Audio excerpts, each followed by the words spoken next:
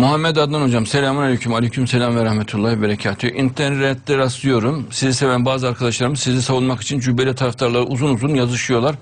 Bu konuda sizin yorumunuzu merak ettim. Siz ne tavsiye edersiniz diyor. Cüneyt isimli kardeşimiz. Aman aman aman bu işler boş işlerdir. Adamlar ne dediği hiç önemli değil.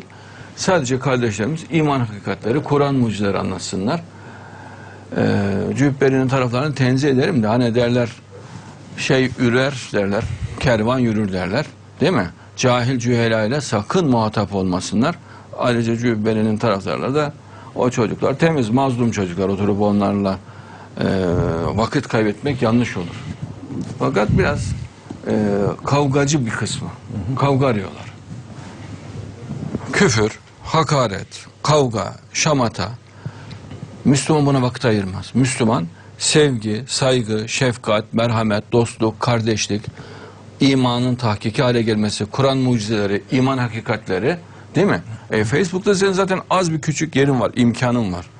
E, ender nadirattan bir ziyaretçin geliyor. E orada adam açtın mı hakaretle karşılaşırsa, işte cübbelinin arkadaşları veya başkasının kim olursa olsun onun küfürleriyle, onların beddualarıyla, beddua demeyeyim de işte ya, ne artık ona uygun karşılığı nedir? Yani olumsuz yönde yap- yaptıkları dualarla karşılaşırlarsa bu insanların içlerini karartır. Neyle karşılaşacak?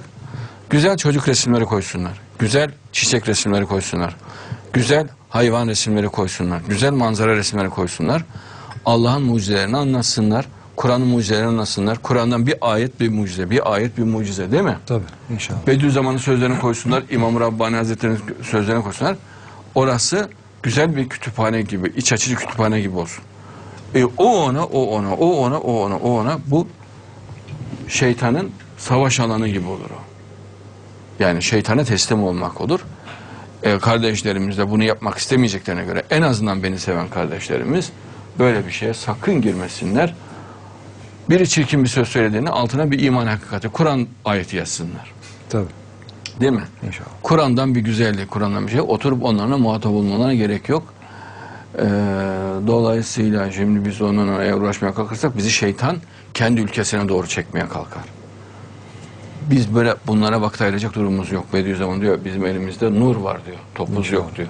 Değil mi? İnşallah. Cenk topuzuyla yaklaşmıyoruz. Biz nurla yaklaşıyoruz. Dolayısıyla hep kardeşlik, sevgi, muhabbet bu. Mesela baktın abuk subuk bir şey konuştu. Hemen altına müminlerin kardeş olmasıyla ilgili bir ayet. Ya cehennemle ilgili bir ayet ki ahiret hatırlatmak. Değil mi? İnşallah. Ee, veyahut bir Kur'an'dan bir mucize. Bunlara aktarmak. Böyle güzel kütüphane gibi hiç kale almasınlar. İnşallah. Onların başı olmaz ki şimdi sen ona cevap vereceksin o sana cevap verecek. O sen, adamın içi zaten kin ve nefretle dolu hasta olmuş adam. Tahkiki iman gelişmediği için, iman hakikatleri okumadığı için Allah sevgisi gelişmemiş. Allah korkusu gelişmemiş. Futbol takımı tutar gibi falanca hocayı tutuyor. Ben diyor falanca hocacıyım. Ama futbol takımı tutar gibi adam fanatik olmuş. Neye göre tuttuğundan da haberi yok. Kalbinde sevgiden damla kalmamış. Hırs, kin, nefret, öfke, saldırganlık içini doldurmuş. E şimdi sen böyle bir adamla vaktini kaybedersen şeytanın oyununa gelirsin. Tabii.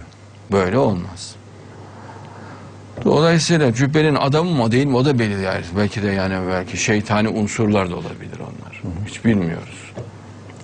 Ee, cübbenin adamı. Cübbenin adamı değil mi? Zaten öyle bir adam yok yani. Öyle bir şey yok. Mahmut hocamızı seven insanlar. Cübbenin etrafında adam kalmadı. Öyle bir şey yok.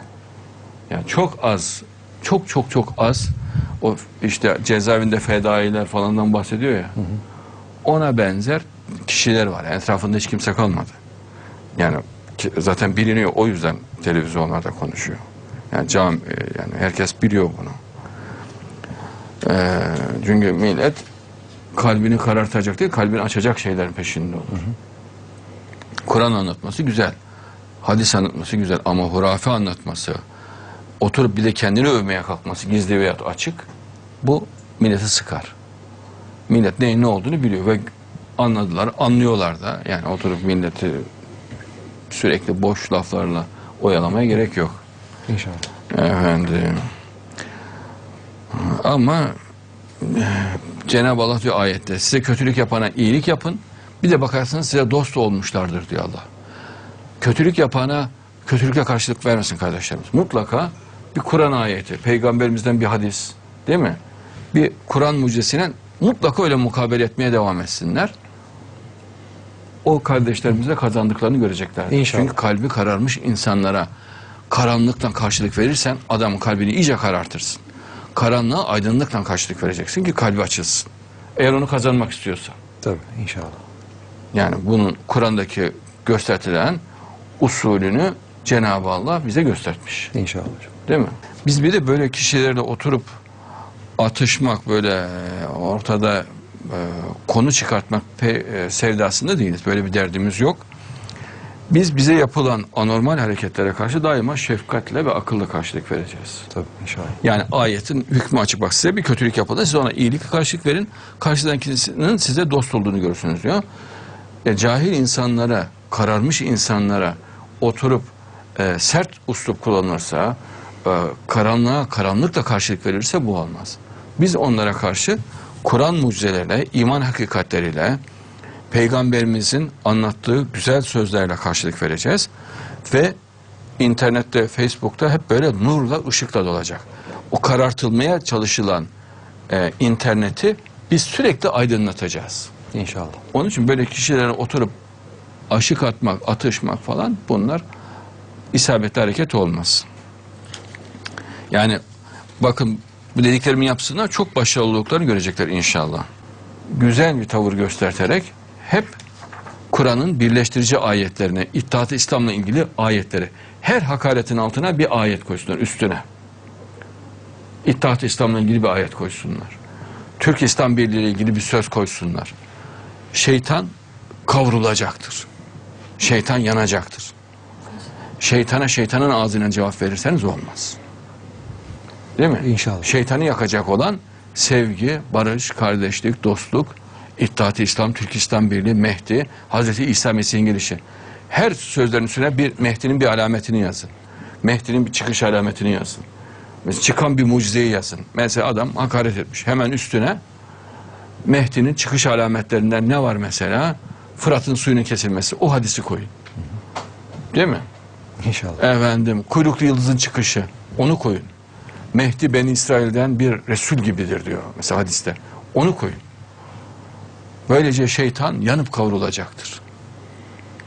Cübbeliye tabi olan çok iyi niyetli çocuklar da var, gençler de var. Fakat özel elemanlar da var. Cübbenin çevresinde toparlanmış. Özel elemanlar. Şimdi özel elemanlara eee, karşı insanlar eee, onların uslubuyla karşılık verirse özel elemanın özel görevine özel hizmet etmiş olursun. Olmaz. Müslüman böyle bir oyuna gelmez. İnşallah. İnşallah.